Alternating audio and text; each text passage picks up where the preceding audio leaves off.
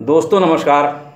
मैं हूँ doctor Prahlad Prasad general physician दोस्तों, मेरे यूट्यूब चैनल में आप सभी का हार्दिक अभिनंदन है। मेरे प्यारे दोस्तों, मैं समझता आप लोग भी निरोग और स्वस्थ होंगे। तो अच्छी बात है। आप लोग जानते हो ना कि मैं प्रतिदिन आप लोगों के लिए नई नई जानकारी नई नई बीमारियाँ नए नए समाधान आप लोगों के लिए खोजता रहता हूँ। वो जो मेरे ऊपर है, आप लोग इसका निःशुल्क फ़ायदा लें, कोई शुल्क देना नहीं होता है। दोस्तों, आप लोगों से रिक्वेस्ट है कि आप लोग मेरे चैनल पर यदि नए हो तो प्लीज़ मेरे चैनल को सब्सक्राइब ज़रूर करें, लाइक करें, शेयर करें और कमेंट भी करें। मेरा हौसला अफाई आप लोग करते रहें। दोस्तों, मैं कभी भी अपने दर्शकों के लिए सही चीज़ें, सही जानकारी देता हूँ।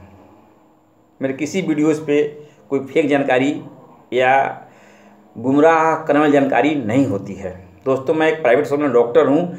मैं अपने 24 घंटे में मरीजों के पब्लिक के बीच में ही रहता हूँ।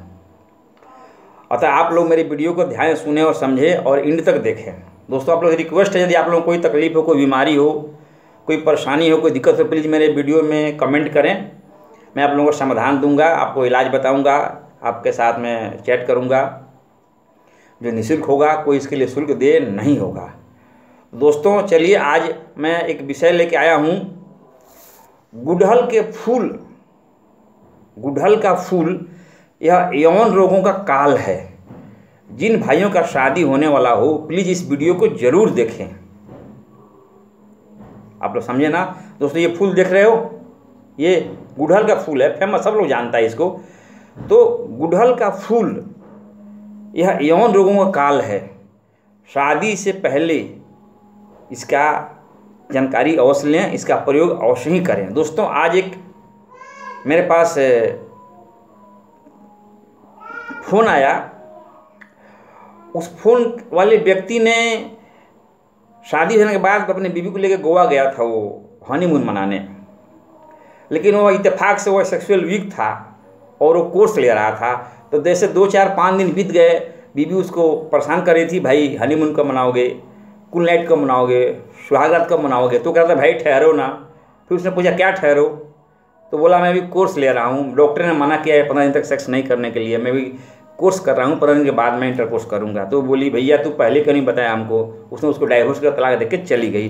दोस्तों, उसने मेरे पास फ़ोन किया, पूछा, इसका उपाय बताया। दोस्तों, मैं इसीलिए कह रहा हूँ कि ये शादी से पहले या जिनकी शादी होने वाली हो बंधु, वो भाई, वो नौजवान इस वीडियो को ज़रूर देखें और इन तक सुने और समझें। दोस्तों कुडल का फूल कैसे यौन रोगों काल है, मैं बता बताता हूँ। दोस्तों, आप लोगों को क्या करना है? जैसे देखते हो यह गुडोल का फूल खिल चुका है, ठीक है? खिल चुका है। यह फूल देखिए, ये अभी कली है कली है ना? और ये देखिए, ये भी कली है, ये भी कली है। तो दोस्तों फूल हो या ऐसा कली हो या ऐसा कली हो। देख रहे हो ना? ये जो कली है, ये दोनों कली। ऐसे चार पाँच कलियाँ प्रतिदिन मिश्री के साथ, डली मिश्री का चबा करके आपको खा जाना है। सुबह खाली पेट एक दो घंटे तक चाय वाय नहीं पीना, खाना नहीं खाना है। चार या पाँच कली, ऐसा कली, ऐसा ऐसा खिला हुआ फूल नहीं चाहिए। ऐसा कली जब खिलने वाला हो या ऐसा ही कली हो, चार पाँच कली प्रतिदिन आपको सुबह मिश्री के साथ इसको चबा चबा के मुँह में धीरे से ऊपर से गाय का दूध यदि हो तो पी लें बढ़िया रहें तो पानी पी सकते हो। दोस्तों, अब मैं बताता हूँ ये कैसे यौन रोगों का काल है, यह क्या क्या फ़ायदा करता है, आप लोग ध्यान सुनेंगे, समझेंगे, वीडियो में इन तक बने रहेंगे, तभी आप लोग समझ में आएगा। मैं आप लोग को हिंदी में समझा रहा हूँ धीरे धीरे दोस्तों, यदि आप ये कली जो है, ये कली जो है, ऐसा ऐसा कली आप प्रतिदिन चार, पाँच प्रतिदिन खाते हो, खाली पे डेढ़ महीने तक खाते हो मिश्री के साथ में तो क्या फ़ायदा होगा? दोस्तों, यह धातु को गाढ़ा करता है। यदि आपको मतलब धातु रिश्ता हो, पैसा के साथ गिरता हो, टपकता हो धातु पतला हो गया हो तो यह धातु को गाढ़ा करता है। दोस्तों, इसके बाद आता है पॉइंट नंबर दो स्वप्न दोष का नाश करता है। यदि आपको नाइट इमोशन हो, स्वप्न दोष होता हो तो वह उसका नाश करता है। पॉइंट नंबर तीन, शीघ्र पतन का काल है। दोस्तों, यदि आप समझते हो ना, यदि आप इंटरकोर्स करते हो, बहुत जल्दी झड़ जाते हो, तेज़ी में झड़ जाते हो तो यह धातु को इतना गाढ़ा कर देता है कि जल्दी आपका धातु फॉल फॉल नहीं होगा। आप जल्दी नहीं झड़ोगे तो यह शीघ्र पतन का भी काल है। दोस्तों, यह सेक्स टाइम को बढ़ाता है। दोस्तों, आप मन चाह तो इसको डेली नियमित इस्तेमाल करके हाँ इस्तेमाल के वक्त में आपको मिर्च, मसाले, तल चीज़ें नहीं खाना है और ब्रह्मचर्य का पालन करना है। ध्यान रखें, कोई बुरी आदत से परहेज करना है। इसको लगातार डेढ़ माह खाएँगे गारंटी है कि यह सेक्स टाइम को आपका बढ़ा देगा। मनचाह टाइम आप संभोग कर सकते हो। दोस्तों पॉइंट नंबर पाँच, यह सेक्स में रुचि पैदा करता है। जैसे इसका इस्तेमाल करते हुए बताया निर्देशानुसार तो यदि आपका सेक्स में रुचि नहीं है या औरत को भी वो भी खा सकती है। यदि उसको भी सेक्स में रुचि नहीं हो तो यह खाने से आपके सेक्स में रुचि पैदा हो जाएगी। आप सेक्स में रुचि इंटरेस्ट लेने लगोगे। तो पॉइंट नंबर छः यदि पेशाब में धातु जाता हो तो उसे ठीक करता है। ऐसा काफ़ी शिकायत आती है कंप्लेन आते हैं, मेरे पास मरीज़ भी आते हैं, लोग कमेंट भी करते हैं, लोग फ़ोन कर पूछते भी हैं, क्योंकि पेशाब के साथ धातु रिश्ता है। पेशाब में लटक जाता है तार की तरह, या पेशाब में उजला धातु दिखता है, गिरते हुए आगे पीछे पेशाब के लास्ट और इंड में भी स्टार्टिंग में भी।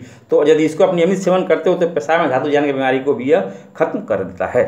दोस्तों, इसके बाद पॉइंट नंबर सात।